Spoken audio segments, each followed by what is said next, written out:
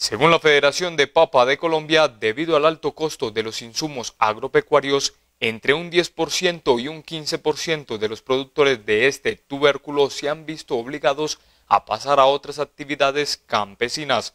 Por esta razón, un grupo de productores de papa crearon una asociación para mejorar su economía. Yomari Benavides, corresponsal de RPTV Noticias, cuenta de qué se trata.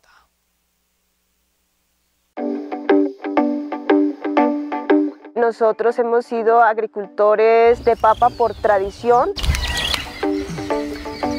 Ella es Rosa Elvira Rivera, una mujer campesina que dice haber heredado de sus padres el amor por el campo y por eso día a día disfruta trabajar labrando la tierra.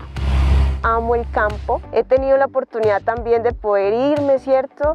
Y buscar otras oportunidades, pero las mejores oportunidades de vida están aquí, en el campo, porque es donde nosotros nacimos, donde crecimos, donde tenemos una mejor calidad de vida. Hoy, esta mujer y 46 familias más conforman una asociación con la que mejoran su economía y es ejemplo para los más de 11 millones de campesinos que tiene el país. Somos una organización de productores que nos dedicamos especialmente al cultivo de papa y también a la producción de leche y también a varios cultivos alternos de clima frío. Su asociación ha tenido el apoyo de la Unidad Administrativa Especial de Organizaciones Solidarias, UAEOS, a través de su programa integral de intervención, con el que se han fortalecido para comercializar productos de calidad y que también sirve para el consumo familiar.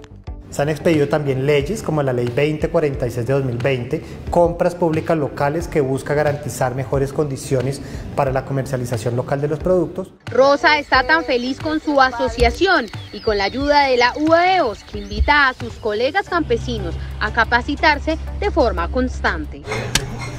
Tenemos que estarnos capacitando, tenemos que estar gestionando proyectos para nuestras organizaciones, tenemos que estar también buscando un mejor eh, una mejor calidad de vida para todos nosotros, o sea, un mejor bienestar.